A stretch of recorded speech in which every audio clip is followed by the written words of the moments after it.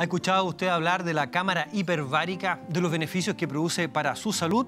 Vamos a hablar en nuestro programa de cámara hiperbárica y para eso fuimos. Clínica La Parva, cámara hiperbárica, mire lo que pasó.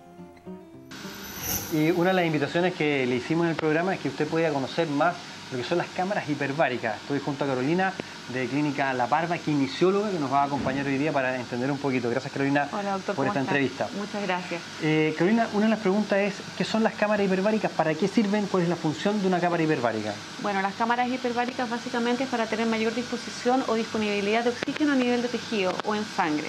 Y es en el fondo para poder mejorar todo lo que es la recuperación de los tejidos, sobre todo en esta área de la Clínica La Parva, para lo que es postquirúrgico. Básicamente eso, a mayor cantidad o disposición o disponibilidad de oxígeno, tenemos mejor recuperación de todas las heridas postquirúrgicas que nos puedan, obviamente, que tenemos siempre después de una cirugía plástica o estética, exacto. Ahora, entendemos, ¿no es cierto?, que en el, en el aire que respiramos hay una cierta concentración de oxígeno. Lo que estamos diciendo es que en esta cámara hiperbárica, ¿no es cierto?, la concentración es muchísimo mayor, es más concentrada dentro de estas cámaras que estamos viendo acá, ¿no es cierto? Exacto. O sea, la idea en el fondo es que, como ustedes ven acá, tenemos una cámara hiperbárica que uno ingresa al paciente de esta forma y luego la cámara presuriza 30 kilopascales para que la concentración de oxígeno entre a cierta cantidad de presión y la disponibilidad sea eh, de forma efectiva el torrente sanguíneo. Eso es básicamente es una presurización similar a las cabinas de los aviones y para que el oxígeno entre como un poco didácticamente como entra el gas a las bebidas. O sea, tiene que entrar a cierta presión y tiene mejor disponibilidad en tejido y en sangre. Y por ende, mejor recuperación. Claro, aporto más oxígeno, ¿no es cierto? Que es un elemento vital para la recuperación de los tejidos. Oxígeno más todos los tejidos. Por ende, tienes un efecto anti-age sumamente importante y muchos de estos tratamientos que se hacen en base a oxigenoterapia, si los ven en el área de medicina estética, y esto es mucho mejor porque es completo, trabaja a nivel de organismo y por ende directamente a nivel de torrente sanguíneo. Carolina, el sonido que tenemos de fondo, para que tú le puedas explicar un poquito a nuestros televidentes. Sí. Bueno, el sonido de fondo estamos en este momento con una cámara real y que estamos viendo ahora que la cámara presurizó a 30 kilopascales, que es lo ideal para que en el fondo tenga un buen funcionamiento y tenga mejor disponibilidad de oxígeno. Y este sonido son de las válvulas de escape, ya porque la cámara tiene un sistema de seguridad que cuando llega a 30 kilopascales comienzan las válvulas de escape a funcionar y queda estable la cámara. Siempre, obviamente, que esto es sumamente seguro, pero siempre tiene que haber una persona del área de la salud que esté eh, encargada, que pesquise al paciente previa evaluación y nunca dejar sola la cámara, por supuesto. Fíjate que el, uso y la aplicación de las cámaras hiperbáricas es bastante amplio, porque se usa, por ejemplo, en el área de traumatología para lesiones musculares, para lesiones de tendones, para recuperar esas lesiones que son muy lentas muchas veces las cámaras hiperbáricas. Sí, en, los, diabéticos, por ejemplo, también ocupa mucho pie diabético. en necrosis también hemos tenido pacientes acá con casos puntuales en necrosis en dedo y la recuperación ha sido increíble. O sea, obviamente que no en una sesión, hay un mínimo de 10 sesiones si uno quiere regular cierto tipo, en el fondo, de, ¿cómo se dice?, de dolencias que ha tenido. Ahí vamos en el fondo nosotros haciendo una evaluación y son desde 10 hasta 100 cámaras hiperbáricas. claro. Exacto. Depende, depende de la lesión. Y, volviendo, y en, la cirugía plástica, tú algo nos comentabas ya, pero ¿en qué se utiliza o en qué, o en qué cirugías plásticas se utiliza con más frecuencia? La verdad que en todas las cirugías que ah, realiza el doctor acá en la clínica siempre tenemos eh, como indicación hacer una cámara hiperbárica porque el paciente generalmente queda con mucha inflamación, mucho dolor y esto la verdad que inmediatamente postquirúrgico los ingresamos a la cámara y su eh, recuperación es mucho más rápida, estamos hablando en un día, dos días, la persona ya se ah, siente bastante. Sí, la persona se siente muy, aliviada. Sí, Pero una pregunta, tú decías postquirúrgico. ¿Existe también algún paciente que tenga indicación prequirúrgica, es decir, quiero mejorar su calidad de piel, creo que, no sé, te invento, a lo mejor era un paciente fumador, eh, dijeron ya, no puedes fumar durante tanto tiempo, pero tengo que recuperar tus tejidos, oxigenarlos más, también podría aplicarse en esta está absolutamente indicado y ideal, porque acá nos llegan muchos pacientes que efectivamente han dejado de fumar, bueno, tienen que dejar de fumar porque una cirugía, como bien sabe el doctor, no pueden fumar, entonces esto hay una mejor oxigenación, por ende mejor renovación, mayor disponibilidad de oxígeno, los tejidos están mucho mejor preparados para una cirugía y por ende vas a tener una mejor eh, reparación y un resultado óptimo. Desde el punto de vista técnico práctico, tú decías de 10 hasta 100, depende del caso de lo que se quiere indicar, ¿no? Eh, y, los periodos de duración cuánto dura una sesión? Una sesión de, cámara, hiperbárica, más o menos 60 minutos desde que ingresa hasta que el paciente eh, sale de la cámara. Eh, hay que, como bien digo, hacer una, evaluación, se hace una prueba de oído en el fondo para ver que el paciente no tenga ninguna patología de oído, que no tenga epilepsia, que no vaya a tener claustrofobia y miles de cosas, algún tipo de inflamación, por ejemplo, esté cursando un resfrío, etcétera. En el fondo, eh, obviamente que cáncer, infecciones están contraindicadas. ¿Hay alguna contraindicación, por ejemplo, de, alguna patología. Tú algo mencionabas, pero no sé, claustrofobia, por ejemplo, o o sea, generalmente nosotros hacemos una anamnesis acá cuando estamos con las quines. La tomamos, historia clínica del sí, historia clínica, de que se operó, tomamos la presión, cómo ingresa, cómo sale el paciente. En el fondo, esto, esto no es llegar y hacer una cámara hiperbárica, tiene mm. mucho resguardo. No es llegar tampoco y abrir la cámara mientras está en transcurso de la cámara, porque imagínate las presiones, los líquidos. pero por supuesto. Entonces, eh, por eso se hace todo un estudio exhaustivo sobre todo lo que se pregunta en el protocolo y el consentimiento. Claustrofobia, patologías de oído son como unas cosas hipertensión. Entonces ahí uno va controlando, más o menos ya vienen preparados desde, desde la cirugía anterior y tiene una anamnesis por el doctor, por enfermería, así nos llegan a nosotros.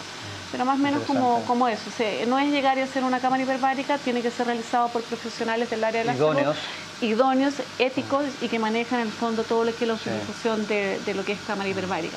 Una, gran, una tremenda y gran herramienta terapéutica que existe hoy día en Chile y que claramente muchas personas hoy día se pueden ver beneficiados de esta tremenda herramienta, las cámaras hiperbáricas, hoy día que hemos conversado junto a Carolina aquí directamente desde el epicentro de la clínica La Parra, ¿no es cierto? Absolutamente, aquí estamos, estamos para servir siempre. Gracias Carolina, nosotros seguimos con más Doctor en Casa, volvemos al estudio. Nos vemos. Claro, y desde la clínica La Parva la trajimos en un helicóptero, está con nosotros, muchas gracias por estar hoy día con nosotros, Carolina Pizarro, kinesióloga, nos acompaña, jefa de la unidad dermoestética Clínica La Parva. Gracias por estar con nosotros. Y agradecimientos también a María Paz Valenzuela, gracias María Paz por estar hoy día en el programa también. Gracias a ustedes. Bueno, tuvimos una presentación tremenda de lo que es la cámara hiperbárica. ¿Qué, más podemos hablar de, toda la tecnología y todo lo que significa y el aporte, fíjate, para tantos pacientes hoy día que necesitan esto, no solamente desde la cirugía eh, estética, plástica, sino que pasamos por la traumatología, por los pacientes con diabetes, etcétera. Hay un uso muy grande.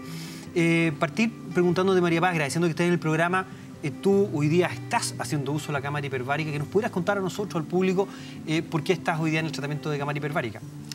Eh, se me indicó porque yo siendo deportista tuve un accidente el año pasado, tuve un congelamiento de mi pie ¿En la montaña? izquierdo en la montaña, bajando de la cumbre del Everest. Del Everest, sí.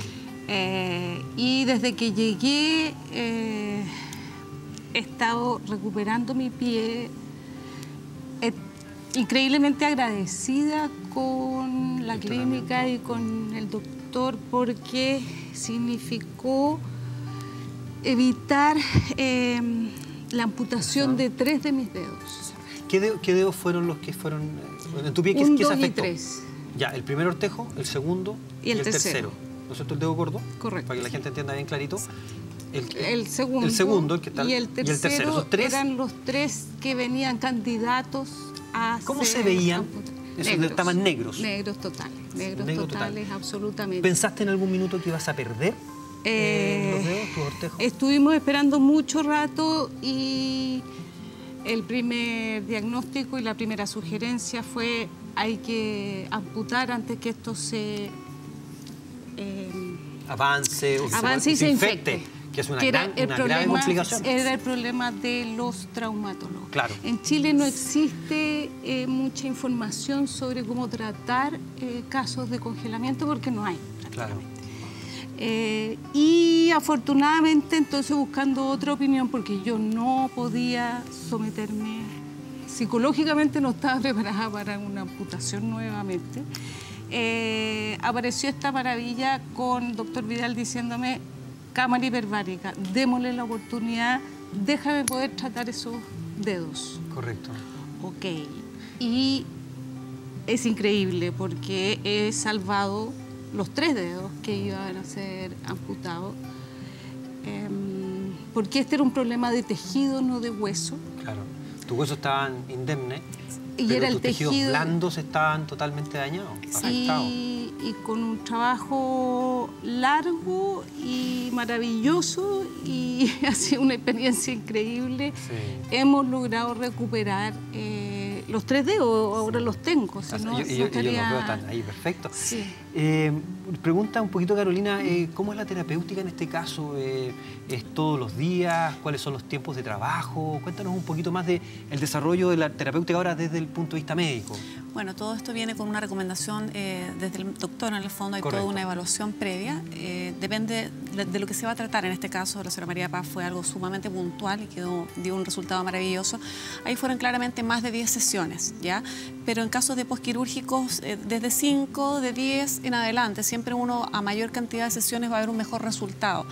Eh, pueden hacerse inclusive dos veces, dos veces al día por cinco días o todos los días. O sea, no tiene en ese sentido ninguna contraindicación, ya a menos que haya uno tenga toxicidad, o sea, tenga algún eh, toxicidad al oxígeno, algún tema como puntual, que en el fondo por eso que siempre esto es con indicación médica.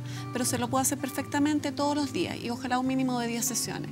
El tratamiento para, que, para contextualizar para las personas que están viendo en las cámaras que vimos en, la nota. Exacto. En, esas mismas cámaras que tú presenciaste estás trabajando. Correcto. ¿No es cierto? Ahora, eh, en, este tema, claro, uno de los grandes fantasmas en esto y los grandes peligros justamente es la infección, porque teniendo infección eh, esta infección puede pasar al hueso, hablamos de una osteomelitis, significa hay directamente amputación, porque el hueso cuando se infecta es de muy difícil tratamiento, muy complejo. Sí, la verdad es que está, bueno, una de las indicaciones que tiene y tiene mucha evidencia científica es el tema del pie diabético, necrosis también, eh, ¿qué es lo que sucede ahí? Cuando uno requiere recuperación hay muy poco oxígeno y para recuperar el tejido necesitamos oxígeno, entonces por eso está muy bien indicado lo que es la cámara hiperbárica en este caso eh, y por ende la recuperación.